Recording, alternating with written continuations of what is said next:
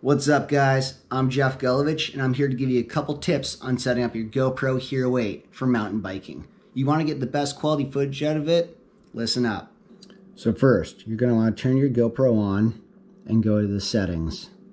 Generally, I run 2.7K 4x3 at 30 frames. Next, I always run the lens wide for mountain biking and make sure you have that hyper smooth all the way up to boost. That's the good stuff. Next on, you're going to want a high bit rate to make sure you have the best quality possible.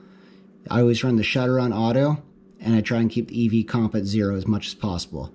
The easiest way to run your white balance is just on auto.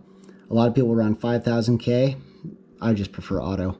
Set your ISO min to 100 in the outside, in the open, use your ISO max to 400. In the trees, change it up to 800. Boom, that easy. I always run medium sharpness so it's easier to edit afterwards and GoPro color. There you have it. This thing is set up and ready to rock. My favorite mount to use while riding is the chesty mount. A lot of people set this up incorrectly for mountain biking. You want to have it set up upside down on the front of your chest, so when you're in a riding position, it's facing flat. You can see your cockpit and the trail coming, and it tells a story on its own. It's the best when you only have one chance to ride a trail.